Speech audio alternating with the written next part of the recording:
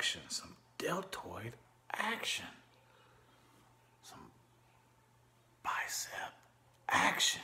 Get you some more gains. Yeah.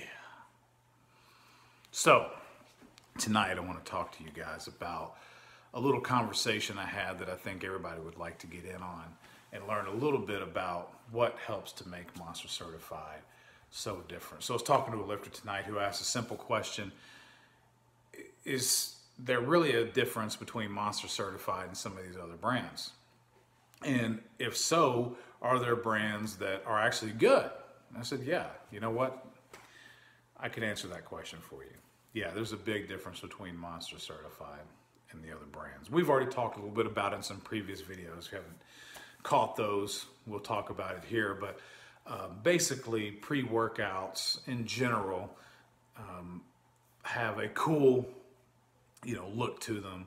Um, they're kind of like a repackaged formula, um, or I'm sorry, rather a formula that's in-house that maybe has a couple of tweaks to it and they put their own brand on it so it's rebranding kind of like a lot of the amazon stuff how you'll have 15 products that all kind of look the same have a little bit different brand on them but they're ultimately the same product well that rebranding has really taken over in a big way in the pre-workout world.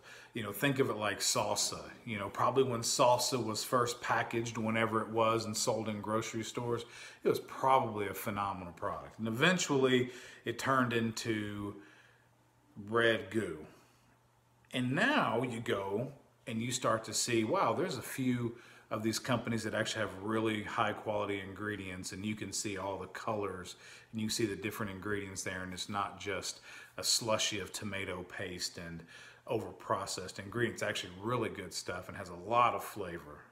So pre-workouts kind of like that. We're in the watered down mass produced phase and how i know this as an insider in the business is because i was being sold manufacturing capability by salespeople who work for manufacturers and basically said, look, we don't want to make your formula. It's too big, it's too expensive.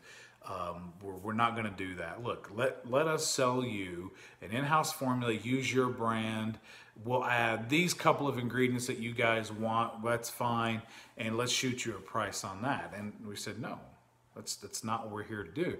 Monster Certified is here to be the absolute best do every single thing is supposed to be on the market. There are a couple of pre-workouts that are mega dose, as we call it, where they have um, large scoops and a lot of good ingredients. And you know what? They do a good job. They do not do as good of a job as Monster Certified. They taste really bad typically. They don't